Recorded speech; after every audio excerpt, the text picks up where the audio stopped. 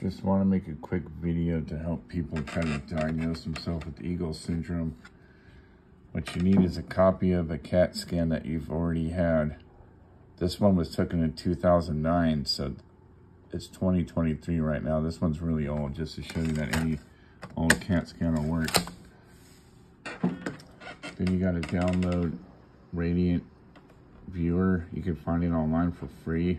They will, if you want, for $5 a month. You can use it as long as you want. In the free trial version, they're going to give you five minutes.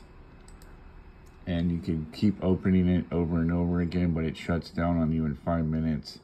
So it's a little frustrating. I did pay the $5 once, and it was really easy to cancel. So when you open it up, it has the countdown right here. And that's because I've already went through my five minutes. So when you reopen it again, it counts down 15 seconds. And just click next. I'll go up here to the CD button.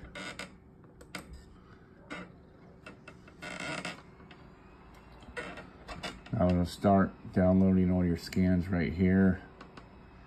Up top you have, I don't even know all these things. The ones I use is the 3D button, the scalpel, or the, I mean, that's the zoom. The pan image. Actually, once you hit 3D, they give you more options right here. You'll see in a second. So if you try to click on one that doesn't have many numbers by it, it's not going to give you the 3D option because there's not enough images in order to show you in in 3D. So I just got to kind of wait a second. So here's one. Now the 3D options open. And there we go. Now you can see there's more tools here now. So what you want to do is click on something and then you hold the left button down and you move your mouse. Click on something else, left button,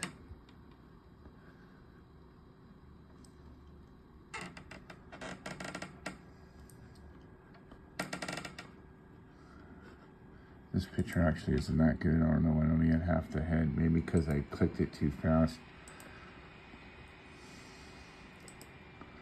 So now I'm going to zoom in a little bit.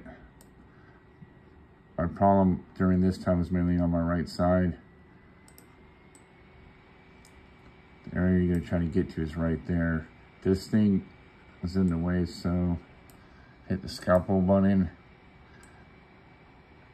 Cut it off.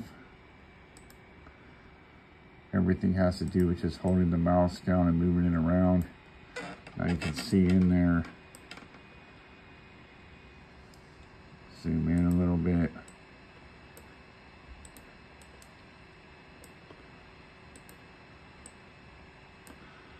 Now you can see the end of the styloid right there going up.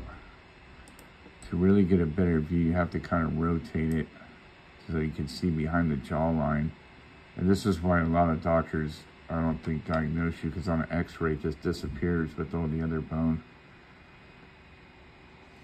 But to even get a clearer look, what I like to do is turn the head,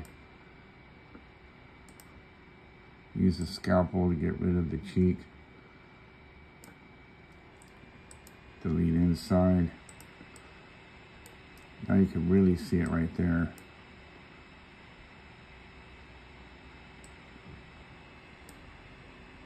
That's my Eagle syndrome on the right side.